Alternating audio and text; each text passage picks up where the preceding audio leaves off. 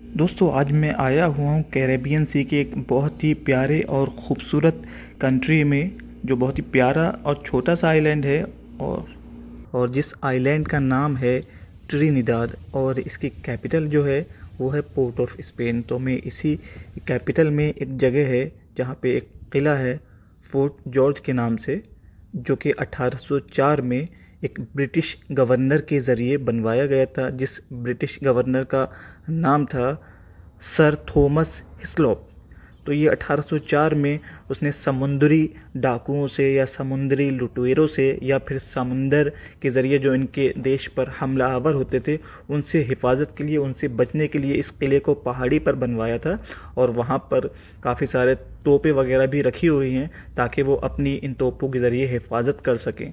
तो ये उसी किले का व्यू है। ऊपर से आप देख सकते हैं और कुछ यहाँ पर उन पुरानी तोपों के गोले भी रखे हुए हैं और ये आप देख सकते हैं ये उन तोपों के गोले उस वक्त से आज भी यहाँ पर महफूज रखे हैं। काफ़ी सारी तोपें हैं यहाँ पर और किला जो है काफ़ी बड़ा है और काफ़ी ऊंचाई पर है। इस किले में एक जेल भी है उस वक्त की, जो सर थॉमस ने उस वक्त बनाई थी, जो कि कैदी जिनको पकड़ के लाया जाता था, उनको इस जेल में रखा जाता था। आइए इस जेल को भी अंदर से देखते हैं कि जेल जो है किस तरीके से दिखती थी उस वक्त की जेल। आइए इसका नज़ारा करते हैं अंदर से। ये आप देख सकते हैं, जेल का अंदरूनी हिस्सा है ये।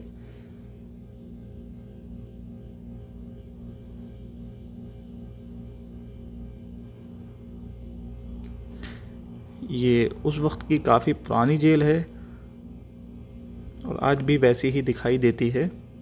और यहाँ से जो सिटी का व्यू है, वो भी बहुत ही अच्छा दिखाई देता है। ये गल्फ ऑफ़ एरिया का व्यू है। कैरिबियन सी है पूरा ये। पोर्ट ऑफ़ स्पेन जो कैपिटल है यहाँ से पहाड़ी के ऊपर से आप पूरा शहर ये देख सकते हैं। ये पूरा जो आइलैंड है, बहुत छोटा आइलैंड है। इस कंट्री में पूरे सिर्फ़ दो सिटी हैं और इस कंट्री की पॉपुलेशन जो है, वो सिर्फ़ 1.3 मिलियन की आबादी है पूरे सिटी की। बहुत ही छोटा सा सिटी है ये। और यहाँ की जो लोकल लैंग्वेज है, वो इंग्लिश है।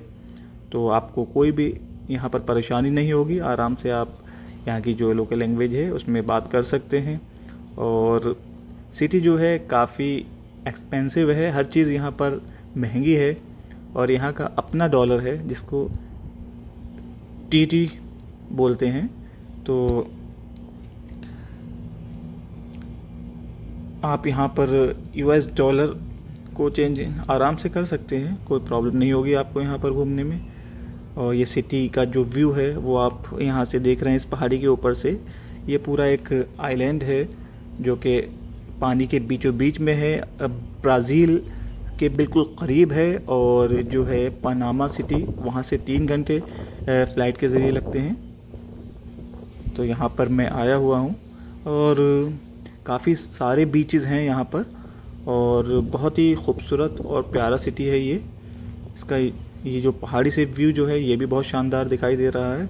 जो आप देख सकते हैं, ये जो सी है, काफ़ी साफ़ और ख़ूबसूरत नज़ारा यहाँ से मालूम हो रहा है। कैरेबियन सी का ये बहुत ही खूबसूरत और प्यारा कंट्री है।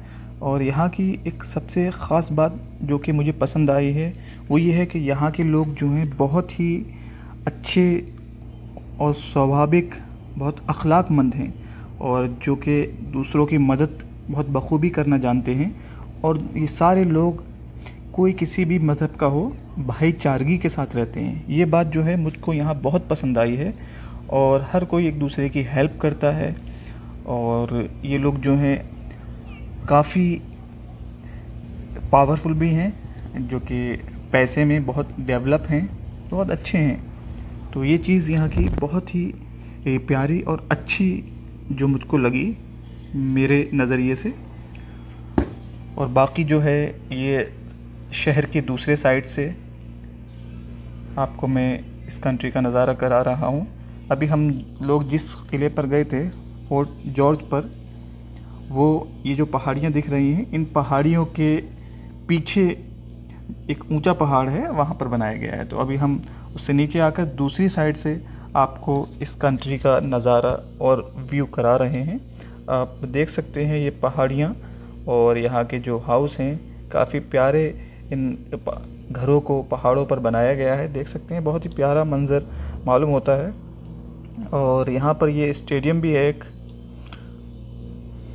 जो कि लोटस के डिज़ाइन में बनाया गया है। काफ़ी प्यारा ये जो है मंज़र है यहाँ पर। तो बहुत बहुत शुक्रिया आपका इस वीडियो को देखने के लिए। अल्लाह